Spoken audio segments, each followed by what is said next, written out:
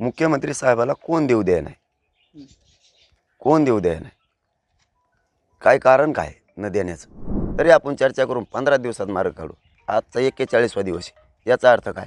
आम्हाला आमचे लेकरं बाळ महत्त्वाचे आहेत. मुख्यमंत्री साहेबाला कोणतरी आडं पडतंय? शंभर टक्के हे खरं दिसतंय. कारण मोदी साहेबाला आम्ही विनंती केली होती. कारण आम्ही ते त्यांना गोरगरिबांची जाण आहे. आणि आम्ही त्यांना हाक दिली होती. नाही नाही आता हे बघा. ते ते त्यांचा राजकीय बोलते ते एकमेकाशी. त्याबद्दल आम्ही त्याच्यात काय बोलू इच्छित नाहीत. पण आमचे सगळ्यांबद्दलच प्रामाणिक इच्छा आहे. मुख्यमंत्री साहेबांबद्दल सुद्धा आहे. दोन्ही उपमुख्यमंत्र्यांबद्दल पण आहे. पण मुख्यमंत्री साहेबाला कोण देऊ द्या नाही? कोण देऊ द्या नाही? काय कारण काय न देण्याचं? याचा शोध काय आहे? ही बघायला पाहिजे की काय प्रॉब्लेम आहे. मुंबईला गेले छत्रपती संभाजीराजे मुंबईला गेले तिथं तुम्हाला कोणी संपर्क. केला नाही. आज डेडलाईन संपली तरी संपर्क. सरकार निरुत्साही दिसतंय मराठा समाजाला आरक्षण देण्यामध्ये. असं म्हणावं लागेल कारण तीस दिवस मागितले तुम्ही. गिरीश महाजन साहेब तर पंधराच दिवस द्या म्हणले होते. तरी देतो आणि तुम्ही आत्ता मुंबईला चला. दोन घंट्यात आणून सोडतो तुम्हाला नेतो सुद्धा. मीडियासमोर झालेलं आहे. म्हणलं मी येत नाही मुंबईला. मुंबईला काय? तरी आपण चर्चा करून पंधरा दिवसात मार्ग काढू. आजचा एक्केचाळीसवा दिवस याचा अर्थ काय? आम्हाला आमचे लेकरं बाळ महत्त्वाचे आहेत. आंदोलन राज्यात शांततेत सुरू आहे. मायबाप मराठ्यांनाही आवाहन करतो शांततेत आंदोलन करायचं फक्त. आपल्या कुणीही कोणीही असं उग्र आंदोलन करायचं नाही कोणी आत्महत्या करायची नाही. हे कसं मिळत नाही ते आपण बघू आजपासून या मराठा समाजाला न्याय मिळावा म्हणून आपल्या जातीवरती अन्याय होऊ नये म्हणून मी आज उपोषणाला बसतो आहे जातीसाठी आणि न्याय मिळवून देण्यासाठी. काळजी करू नका.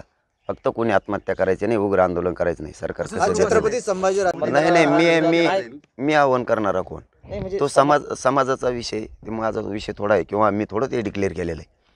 समाज समाज समाज मालक येतो त्याला कोण रोखणार आहे? मंत्री आणि मुख्यमंत्री साहेब स्वतः यांनी सगळ्यांनी बसून हा मार्ग आता तातडीनं काढला पाहिजे लगेच.